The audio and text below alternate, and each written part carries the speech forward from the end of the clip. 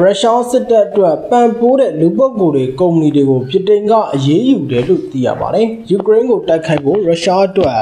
လက်နက်နဲ့အစိပ်ပိုင်းတွေပံ့ပိုးခဲ့တယ်လို့ဆွဆွဲပြီးအီရန်ဒရုန်းထုတ်လုပ်ရေးနဲ့တခြားလုပ်ငန်းတွေပေါ်ပြည်တိုင်နိုင်ငံက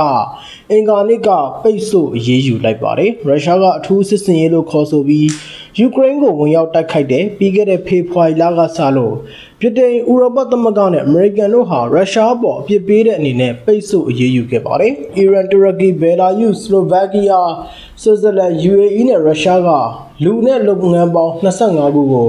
ပြည်တိုင်ကပိတ်ဆို့အရေးယူမှုသစ်ချမှတ်လိုက်တာပါ။ဒီထဲမှာ Iran drone ထုတ်လုပ်တဲ့ Prava Pass နဲ့လုပ်ငန်းရဲ့အလုပ်မှုဆောင်အရာရှိ9ယောက်လည်းပါသလိုတူရကီနိုင်ငံခြေဆိုင် Micro Electronic ပစ္စည်းတင်ပို့သူ2ဦးပါပါတယ်။ဒူလတ်ကပီတယ်ကုမ္ပဏီဟာဆွစ်ဇာလန်ခြေဆိုင်ခရစ်ပတိုငွေကြေးကုမ္ပဏီဖြစ်ပြီးရုရှားနိုင်ငံမော်စကိုမြို့တော်ကရုံးခွဲရဲ့အကြီးအကဲ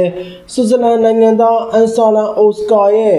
ပိတ်ဆို့အရေးယူလိုက်တဲ့အထက်မှာလည်းပါဝင်ပါတယ်။မဟာဗျူဟာအရအရေးပါတဲ့ရုရှားဗန်နာရေးဝန်ဆောင်မှုကဏ္ဍမှာ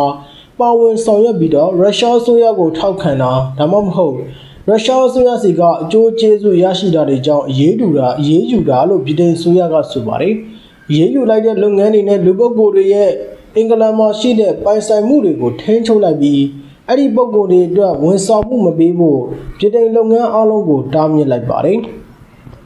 ယူကရိန်းကိုရုရှားကကျူးကျော်ဝင်ရောက်ခဲ့ကြတဲ့ကဆိုရင်လူပုဂ္ဂိုလ်နဲ့လုပ်ငန်းပေါင်း1600ကျော်ကိုပိတ်ဆို့အရေးယူပြီးအခုနောက်ဆုံးအရေးယူလိုက်တာမှာတော့ရုရှားကိုထောက်ပံ့မှုဂွင်းဆက်မှာပါတဲ့တတိယတန်းပြည်ကလူတွေနဲ့လုပ်ငန်းတွေပါပါဝင်လာတာဖြစ်ပါတယ်။ပြည်တိုင်ကလည်းအရေးယူသလိုတစ်ဖက်ကလည်း EU နဲ့အမေရိကတို့ကလည်းရုရှားကိုထောက်ပံ့နေတဲ့စီးပွားရေးလုပ်ငန်းတွေ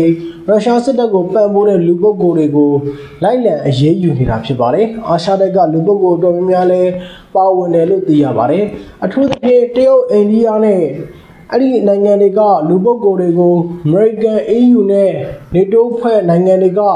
ပိတ်ဆို့အရေးယူမှုတွေချမှတ်ဆောင်ရွက်နေတယ်လို့သိရပါတယ်။